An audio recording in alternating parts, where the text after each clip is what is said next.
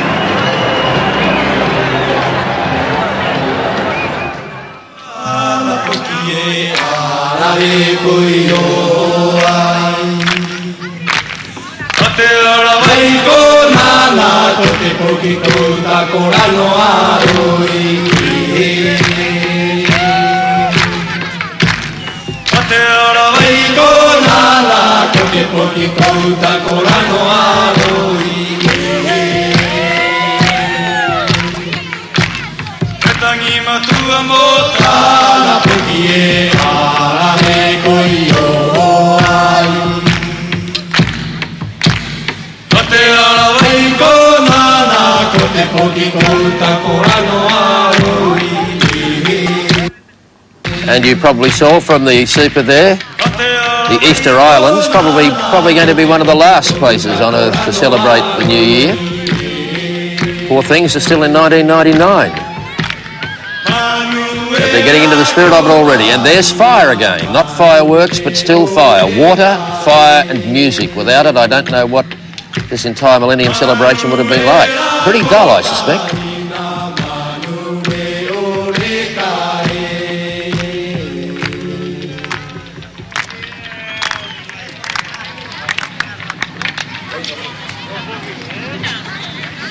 Maheke o te ari ki nui e ka piri mai ke tangi tangi Kia matua e?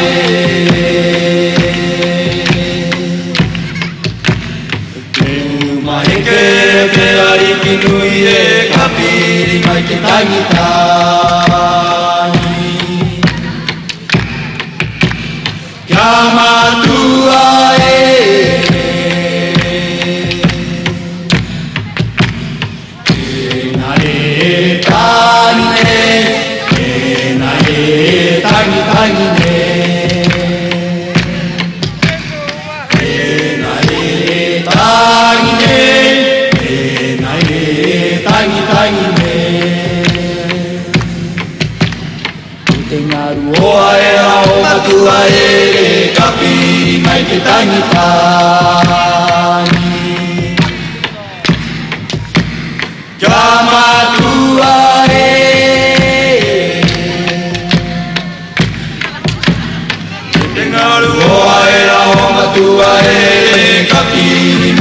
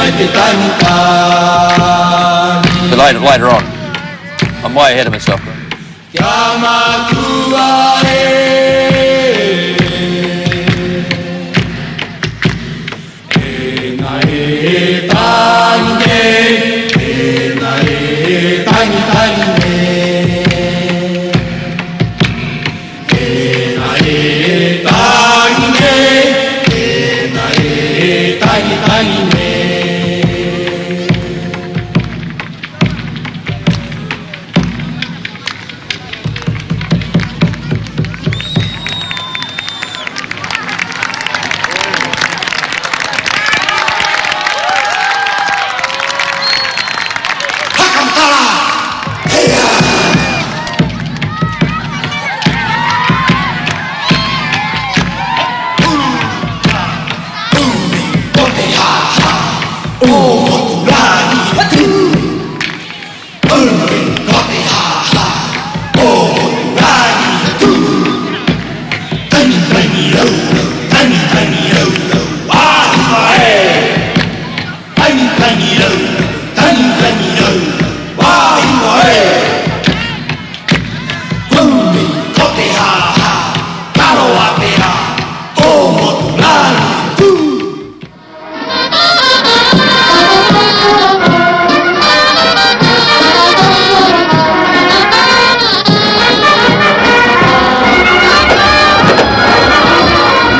Mystery tour continues. I mean, it's amazing if you think about the cultural diversity and the rapid cultural changes. We're all suffering culture shock, I think.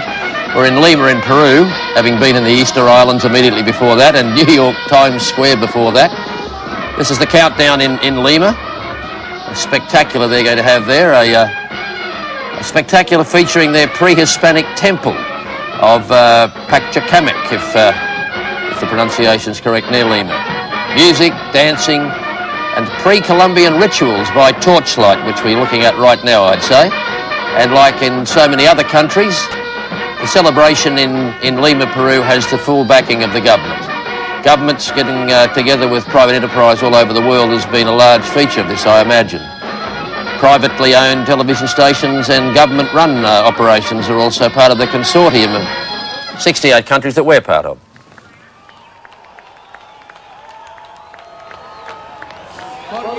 Miami Beach and the Gypsy Kings, the favourite of many around the world, and we're told they're going to give us an updated version of Bob Marley again, Bob Marley's famous One Love. They may be joined by Deborah Harry of Blondie.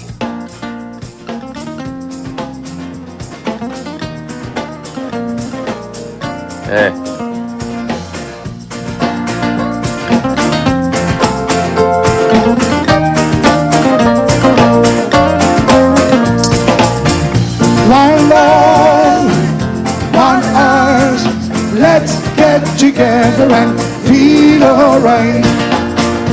One love, one eyes, let's get together and feel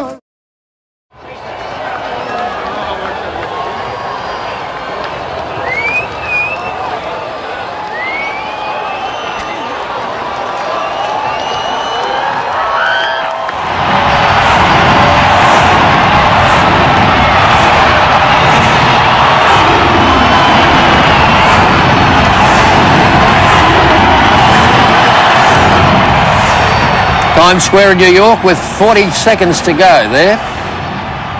At 11.50 local time, about 4.50 Greenwich Mean Time, and about 15.50 Eastern Standard Time in Australia. The ball is going to make its maiden voyage down a 77-foot flagpole. A big crystal apple, somebody's just blurted in my ear. A big crystal apple. What a mess if it doesn't work. Times Square and the Americans, surprise, surprise, are expecting a spectacular celebration. There it goes.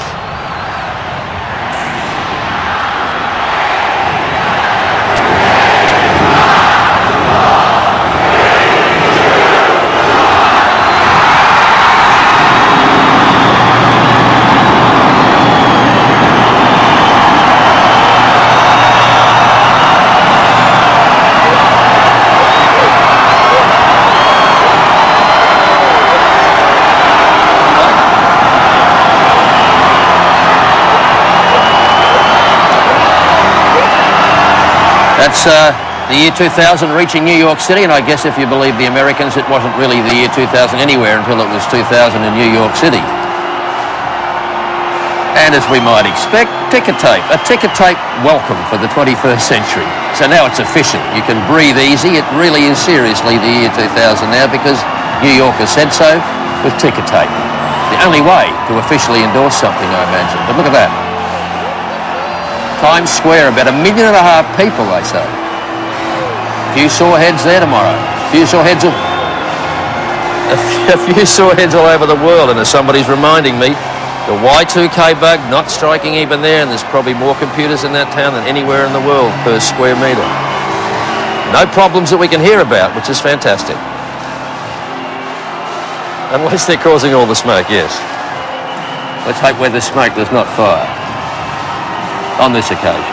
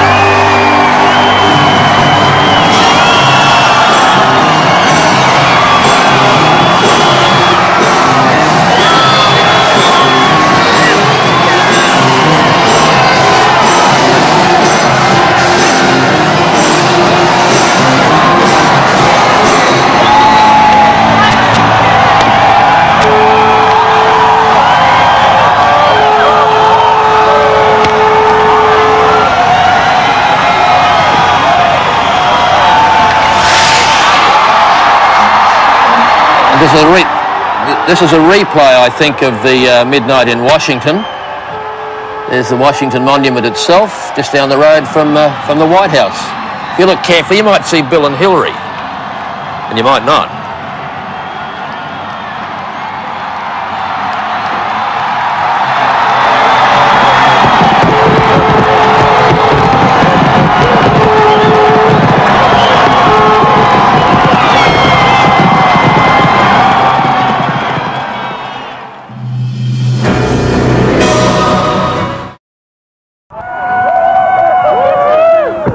Now we're back to Canada again. I think this is a three-city celebration, this one. Toronto, Montreal and Ottawa. And only the Canadian freaks out there, of which I am not one, could tell us which of the three cities that is. But major fireworks displays, surprise, surprise. Somebody said to me earlier, I wonder how much money was expended throughout the globe over the past 18 to 24 hours on fireworks. Literally dough up in smoke. Must have been skrillions. Everybody has been doing fireworks, including the Canadians. Fireworks and music. A lot of new music written too, by the way.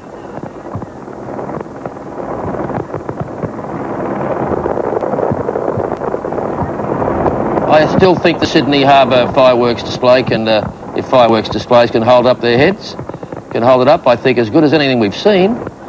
And that's not a display of bellicose nationalism, I think it's fact.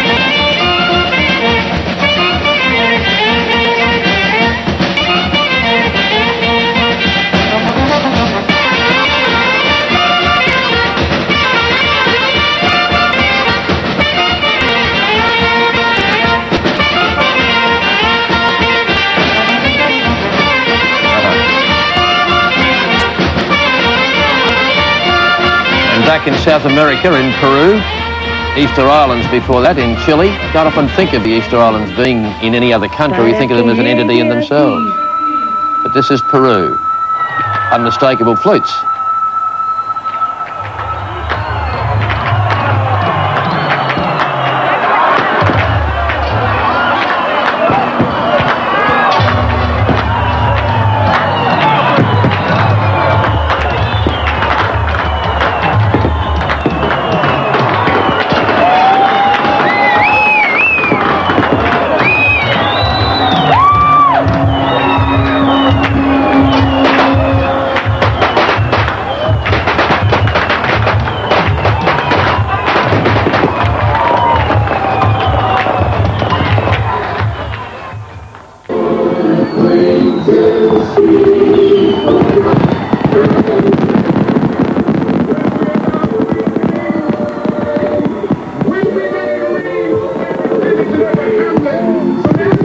And now, as you can see, Midnight in Miami. There'll be a million album titles like that. Midnight in Miami, Midnight in Moscow, Midnight in Manhattan.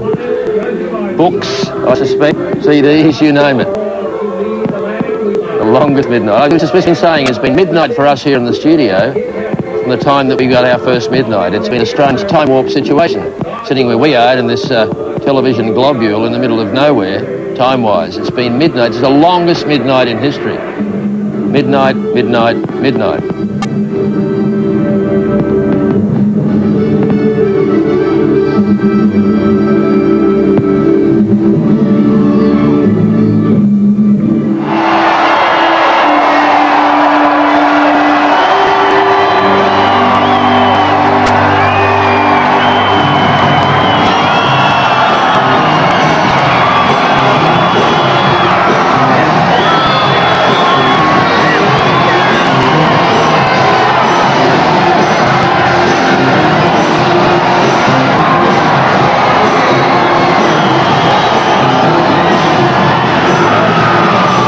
Times Square, and that's that's going to be a party. It'll be a long time before they'll use that title line about the party being over in New York, I suspect.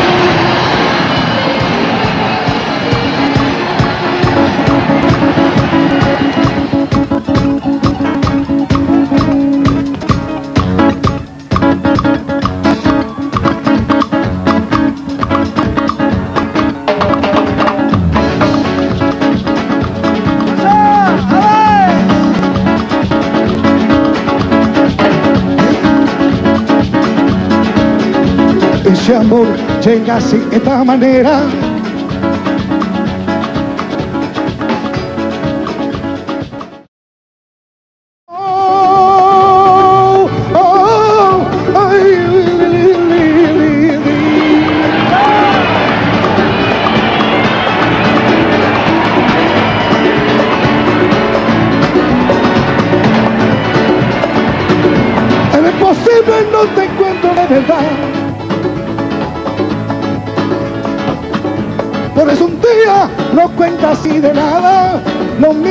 calle lo mismo soy yo. No te gusta la banda. Oh, li, li, li,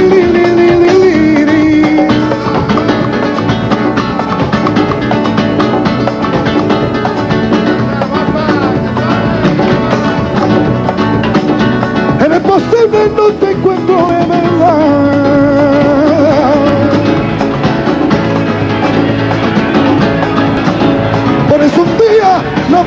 Nada. Lo mismo ya callé, lo pienso en ti. Bambolea, bambolea, que mira yo la que me mira así. Bambolea, bambolea.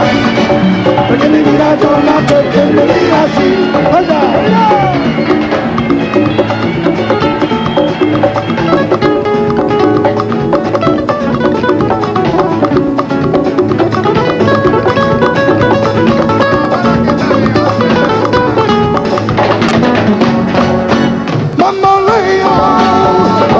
Maria Venirà donna perché veniva sì Mamma Maria Venirà donna perché veniva sì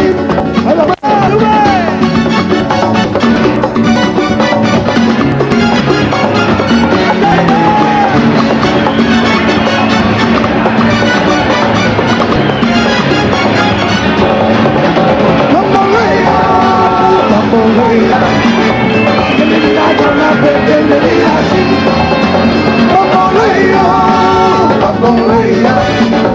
Y mi vida yo la prefiero vivir así. ¡Tú!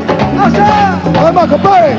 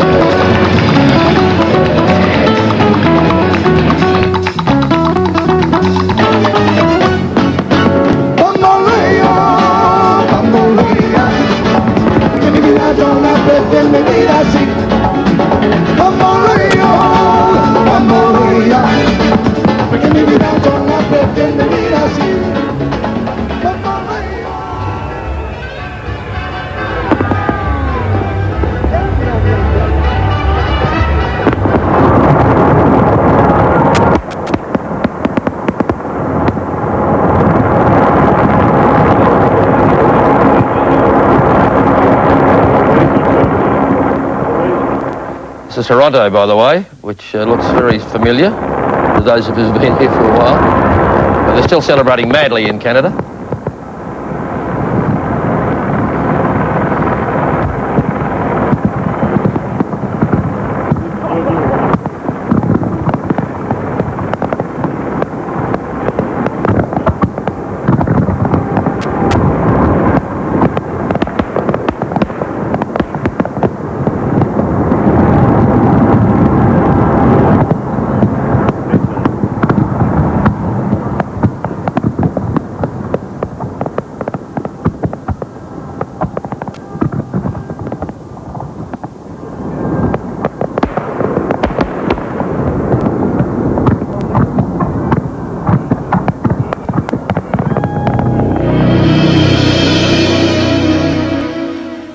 With us on 2000 Today, live around the world. We've just been spending the last few moments uh, on the east coast of North America, in uh, Miami, in New York, and in Canada.